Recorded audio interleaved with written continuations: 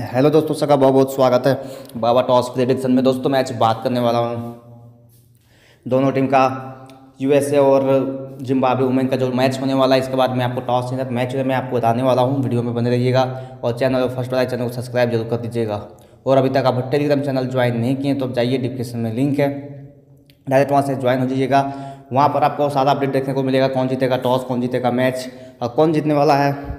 वो सारा अपडेट आपको टेलीग्राम में देखने को मिलेगा, ज़रूर से टेलीग्राम चैनल ज्वाइन कर लीजिएगा डिस्क्रिप्शन में लिंक है डायरेक्ट वहाँ से ज्वाइन हो जाइएगा।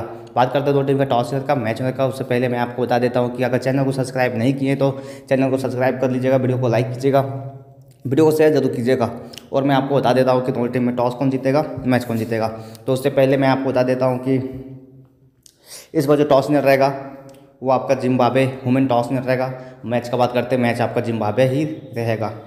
अगर कोई भी दिक्कत होता है टॉस और मैच में तो मैं आपको बता देता हूँ कि वो सारा अपडेट आपको टेलीग्राम में देखने को मिलेगा। अगर कोई भी चेंजिंग होता है टॉस और मैच, सारा आपको टेलीग्राम में देखने को मिलेगा। चाहिए ज्वाइन कर लीजिए।